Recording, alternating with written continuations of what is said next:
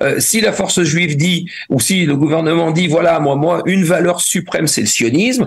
Un, je veux encourager l'ALIA. Deux, je veux encourager l'implantation dans le Negev ou la Galilée. Eh ben, ils en sont plus que bienvenus. Je ne vois aucune discrimination dans ce cas-là. Par contre, faire une déclaration, faire une loi qui est comme une sorte de bulle déclarative vide et qui pourrait être interprétée euh, dans certains cas de manière discriminatoire, euh, ça pourrait être problématique. Nous avons le plaisir d'être en ligne avec Maître Philippe Koskas. Bonjour Philippe, Bokertov. Bonjour, bonjour Daniel Bokeror. Merci d'être avec nous ce matin. Nous avons sollicité pour essayer de mieux comprendre un peu quelle était la nature de ce projet de loi que le gouvernement voudrait développer. En tout cas, il faut être au condi, parler aux conditions d'elle. C'est surtout, on va dire, l'aile droite du gouvernement, force juive de Itamar Ben-Gvir, mais il en a été question hier en Conseil des ministres qui euh, définirait le sionisme comme une valeur directrice de l'action du gouvernement. Qu'est-ce que cela peut vouloir dire en termes juridiques, bien entendu? Alors attendez, avant avant d'arriver au niveau juridique, je voudrais euh, juste euh, essayer de, de, définir ce que on pourrait définir, parce qu'il y a plusieurs définitions de sionisme, bien entendu. Euh, évidemment, lorsque on parle de sionisme, le sionisme d'Herzl, c'est-à-dire le, le mouvement d'émancipation juive, c'est pas forcément de cela dont on parle. C'est-à-dire quand on parle à nos auditeurs, dont certains sont au Hadash, qui sont sionistes parce qu'ils sont ils ont fait leur alia, ils sont venus en Israël, ils considèrent que euh, l'État juif est l'État central euh, qui va euh, pérenniser le peuple juif dans, dans sa patrie.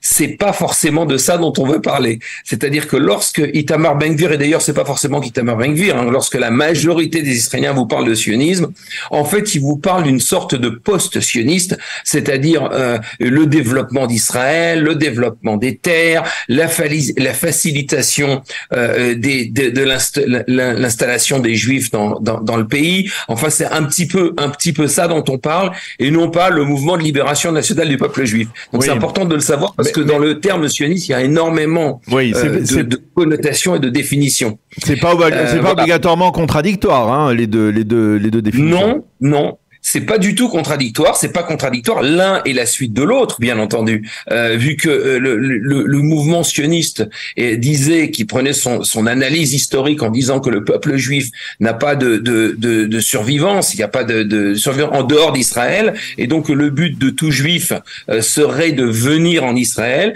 La, la, la, poursuite de ça, c'est pour ça que j'ai appelé un peu ça de post-sioniste, euh, dans le sens la suite de ça serait évidemment de faciliter l'installation des juifs en Israël. Alors, euh, est-ce que, est-ce pas forcément contradiction, mais il faut bien le préciser. Alors, est-ce que euh, on, il est exact de dire que l'on s'inscrit un peu dans la même euh, lignée de réflexion que ce qui a conduit le gouvernement de Benjamin Netanyahou de 2018 à faire voter la fameuse loi sur Israël, l'État-nation du peuple juif?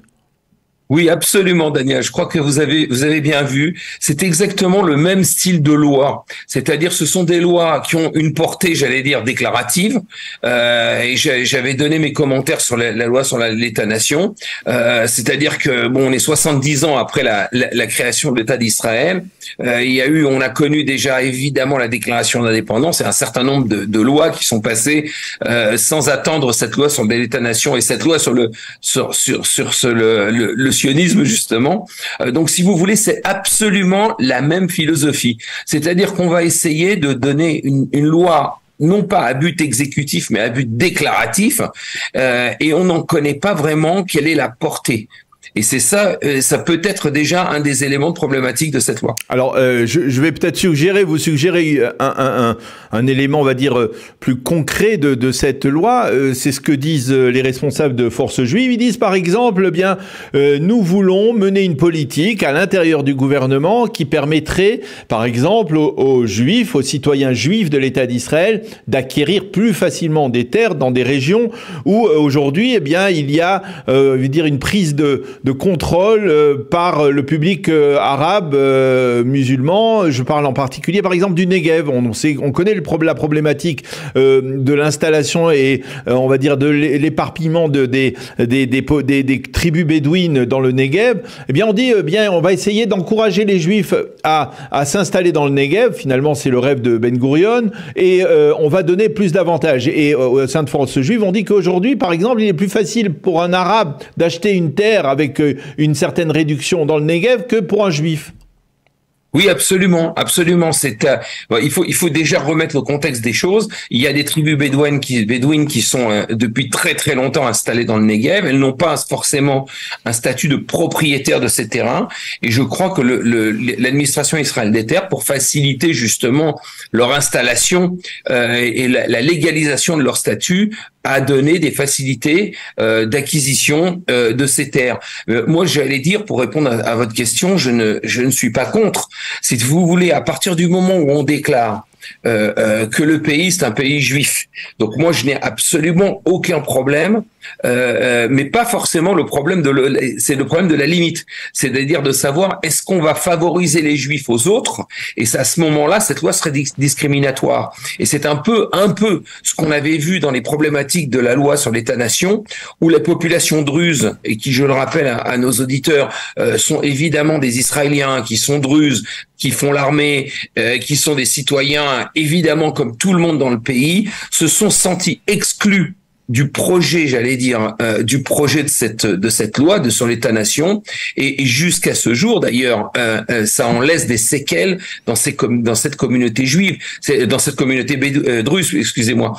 donc, si vous voulez, toute la problématique est de savoir quand est-ce si on, on, favorise, on peut, la loi donne la possibilité, sans forcément discriminer, de de, de donner des des, des j'allais dire, de favoriser telle ou telle partie de la population. Je vous donne un exemple. On a et, euh, une personne par exemple qui aurait fait l'armée par rapport à une personne qui aurait pas fait l'armée, j'aurais trouvé peut-être logique d'essayer de la de favoriser la personne qui a fait l'armée puisqu'elle a quand même contribué trois ans de, de sa vie. Euh, mais d'un autre côté, si vous voulez, le, le fait d'être euh, favorisé par sa propre ethnie ou par sa propre religion, c'est ça peut être considéré comme discriminatoire. Ça repose le problème la, la sempiternelle question euh, de l'État d'Israël, État juif ou État de tous ses citoyens? Ah non, j'aurais dit c'est pas forcément de toute façon. Euh, euh c'est un État juif, c'est clair, c'est dans la définition, c'est dans la loi, c'est un État juif et démocratique. Maintenant, on ne peut pas non plus, lorsqu'on est en Israël, faire fi de 20% de la population qui est une population arabe. On ne peut pas le, on peut pas les mettre, les discriminer, ce qui n'est pas le cas. Je sais que Israël est accusé de manière permanente sur les forums internationaux et j'allais dire de manière complètement scandaleuse euh, de discrimination, alors qu'on le voit en Israël, c'est faux. Euh, euh, donc on ne va pas donner raison à, à ses propres personnes. C'est-à-dire qu'il y a quand même 20% de cette population qui est une population non juive et, et, et elle doit être égale face à la loi. Ça me semble tout à fait normal. Oui, mais par exemple, je vous donnais un cas, un cas précis, par exemple, un cas qui, s'est posé au, Keren Kaemet Israël, qui est propriétaire de terres en Galilée, dans le Negev, un peu partout dans le pays, et euh, d'un arabe israélien qui voulait acheter, acquérir une terre qui appartenait au Keren Kaemet Israël, et le KKL a, a bloqué cela euh, parce qu'il était arabe. Donc il y a une problématique ici qu'il faut résoudre une fois pour toutes. Vous avez absolument raison, Daniel. C'est-à-dire, c'est une loi qui a été créée lors de la création d'Israël. Euh, le but, c'était en fait d'essayer, j'allais dire, de libérer euh, des terres euh, au profit des Juifs. C'est donc c'est une conception déjà qui datait des années 30, 40 et 50. il y a une loi qui dit que la, le, le, le, le fonds, le Keren Kayemet ou le Minal Mekarka Israël, c'est-à-dire l'administration israélienne des terres, ne pourra vendre qu'à des Juifs.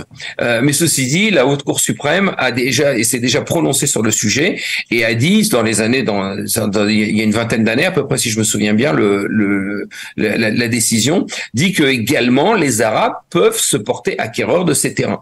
Donc, si vous voulez, il y a toujours ce souci d'un côté, et si vous voulez, c'est un petit peu ça, le, la, la, la, navigation, j'allais dire d'Israël, c'est d'un côté nous sommes un pays juif, à majorité juive, avec un destin juif, et d'un autre côté, on doit en notre sein avoir une population qui est une population non juive et de se comporter de manière égale avec elle. Euh, égal, d'accord, mais certains disent qu'il y a une discrimination en faveur de la population minoritaire. Alors, il se peut, regardez, le problème, je vous expliqué, il y a la problématique des, des, des Bédouins dans le Negev et, et, en soi, d'abord, premièrement, je ne je suis pas, pour, reprendre le sujet qui est pas forcément d'ailleurs un sujet juridique, euh, il n'y a pas que dans le Negev, d'ailleurs, il y a aussi dans la Galilée, qui, que, où il y a une, une j'allais dire, la population juive euh, préfère se concentrer dans les grandes villes comme Tel Aviv et Jérusalem, et, et, et malheureusement, malheureusement, malheureusement, les populations juives euh, ne vont pas, ne courent pas euh, vers des, des, des, des les, zones du pays qui sont et la Galilée et le Negev. Euh, malheureusement, mais c'est comme ça. C'est pas alors forcément la raison. Justement, justement, est-ce que la politique, c'est là qu'on revient à, la définition de, ce projet de loi, euh, mener une politique euh, sioniste, une directrice, directrice de, pour le gouvernement, ça pourrait vouloir dire, par exemple, encourager des juifs à, à s'installer dans certaines régions du Negev ou de la Galilée. D'ailleurs, c'est un ministère qui est entre les mains de la force juive et, et favoriser donc cela. Est-ce qu'il y aurait là un problème juridique euh, et, et, je vous pose la question parce que parce que mais qui le favorise parce que parce que c'est tout à fait ah, excusez-moi. Non, je, je, non je, vous, je vous pose la question parce que on a le sentiment que, par exemple, Galit Barad Miara, la conseillère juridique du gouvernement, est opposée à, cette, à ce projet de loi, justement pour cela. Attendez, pour revenir aux choses, ce projet de loi ne fait pas vivre un demi-juif ni en, ni en Galilée, ni, en, ni, ni, dans le Negev. Le problème, comme vous l'avez bien exprimé au début, cette loi, c'est une loi déclarative qui ne veut rien dire. Quand on déclare quelque chose, bon, on le déclare. Euh, maximum, ils ont des, le, comme vous l'avez dit, la force juive a des, a des, a des postes au gouvernement qui sont des postes opérationnels, et eh ben, qui libèrent des budgets, euh, qui libèrent des budgets pour en, en, pour favoriser l'implant des nouvelles implantations, de nouvelles, de nouveaux kibbutzim, nouveaux Moshavim. Euh, ça, là-dessus, je ne crois pas qu'il y aurait quelqu'un euh, qui viendrait, euh, qui, viendrait euh, s'inscrire contre ce projet. par contre, on peut s'inscrire contre un projet d'une loi qui est complètement déclarative où il y a rien derrière. C'est d'une sorte de bulle vide. Alors on ne sait pas exactement qu'est-ce qu'on va faire rentrer dans cette bulle. Et cette bulle potentiellement peut être considérée comme discriminatoire. Donc c'est la raison pour laquelle moi je peux comprendre. On attaque en fait la, problématique du mauvais bout. Si vous voulez, comme je vous l'avais dit d'ailleurs sur la définition du sionisme, euh, si la force juive dit, ou si le gouvernement dit, voilà, moi, moi, une valeur suprême, c'est le sionisme.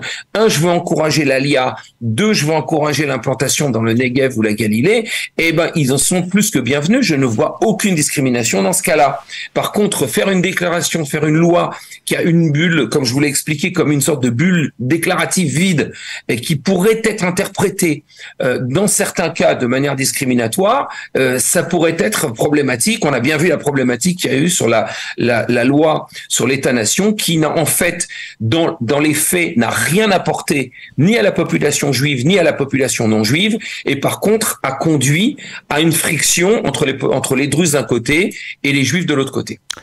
Eh bien, maître Philippe Koskas, merci beaucoup euh, d'avoir de nous avoir clarifié en fait euh, euh, donc cette l'idée, on va dire, de ce projet de loi qui tant voudrait donc accorder au sionisme une valeur directrice dans l'action du gouvernement. Hein, c'est ce qui est précisé. Merci de nous avoir expliqué cela et de nous avoir de l'avoir replacé dans, dans son contexte. Merci d'avoir été avec nous ce matin et bonne journée, Philippe. Bonne journée, bonne journée, Daniel.